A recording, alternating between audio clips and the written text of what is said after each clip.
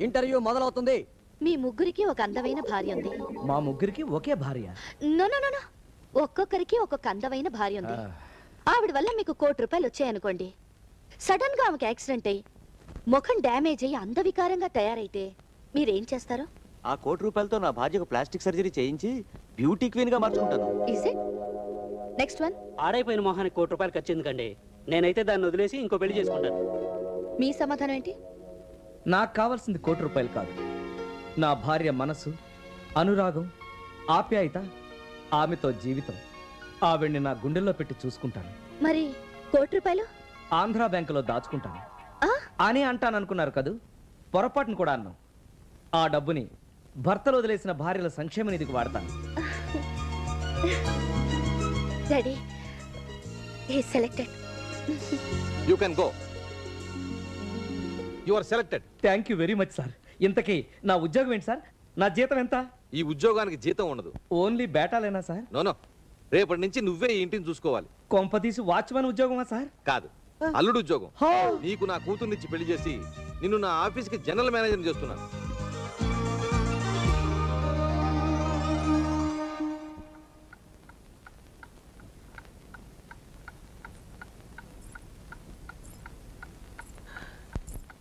తీసుకోండి.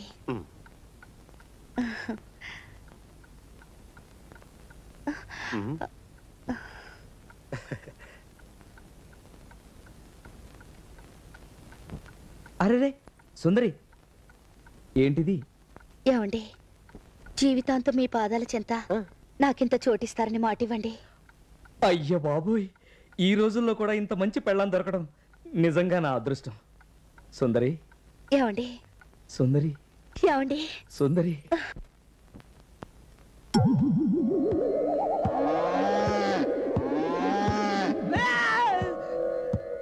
ఎవరమ్మా నువ్వు? ఏ జూలోంచి తప్పించుకొచ్చావు? నేనంత అందంగా ఉన్నానా? ఏమిటండి? ఏమైంది? ఏమయ్యిందా జనరల్గా పెళ్ళి కూతురు గేదె పాల గ్లాస్తో శోభనం గదిలోకి ఎంటర్ అవుతుంది. కానీ డైరెక్ట్గా గేదె పాలు తీసుకొచ్చినంత ఎఫెక్ట్ ఇచ్చింది ఎవరిమే? దాని పేరు ఆండాళ్ళు. ఆహా నేను గంగాళం అనుకున్నాను. నాకు ఫ్రెండ్ సిస్టర్ గార్డియన్ అన్నీ అదే.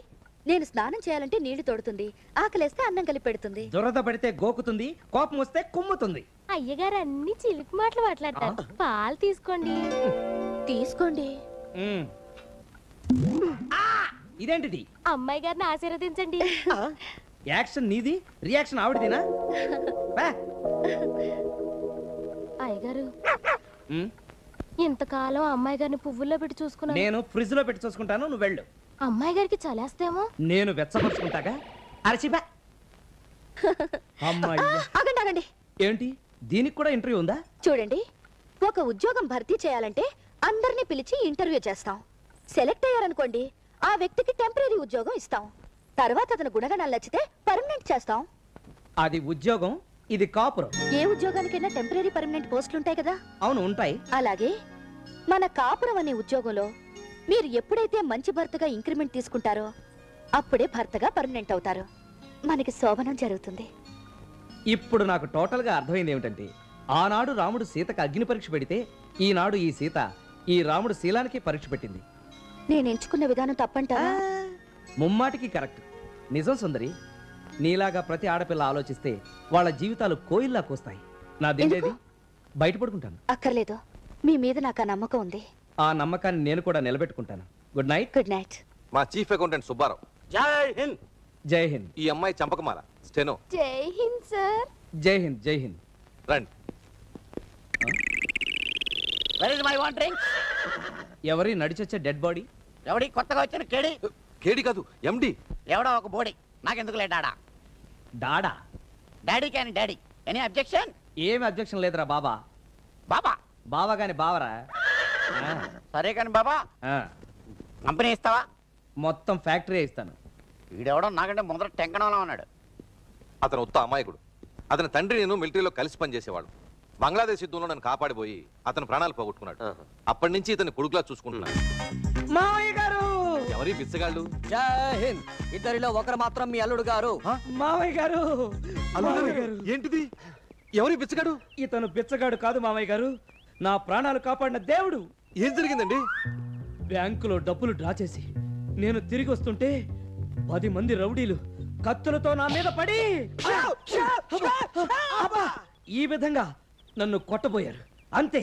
ఎక్కడి నుంచో ఇతను వాళ్ళ మీదకి దూకి. అంతే. వాళ్ళని చితక బాధేసి నన్ను కాపాడాడు మామయ్య గారు. అలాగా? ఇంతకీ నువ్వేం చేస్తుంటావు బాబు? నేను పని పాట లేని నిరుద్యోగి. కాలక్షేపం కోసం బ్యాంకుల చుట్టూరు తిరుగుతున్నా ఎవరైనా అపాయంలో ఉంటే వాళ్ళని కాపాడుతా ఆ, నువ్వు కాపాడింది మా అల్లుడు గారిని కాదు బాబు. మరి? నా కూతురు మాంగళ్యాన్ని. అవునా? అటువంటి నీకు ఉద్యోగం లేకపోవడమా. అంచేత మీరు ఏదైనా పెద్ద ఉద్యోగం ఇస్తారేమో ఓ వంద రెండు వందలు పారేసి పంపించేయండి! కాదలుడు గారు ఇతను మన కంపెనీకి మేనేజింగ్ డైరెక్టర్గా అపాయింట్ చేసుకుందాం. ఆ ఉద్యోగం నాది. అసిస్టెంట్ జనరల్ మేనేజర్గా వేసుకుందాం మావయ్య గారు. ఓకే! ఆనందం. సార్ ఆ ట్రాఫిక్ జామ్ కారణం నేను కాదు సార్. ఆ జాము ఆ జాము. సార్!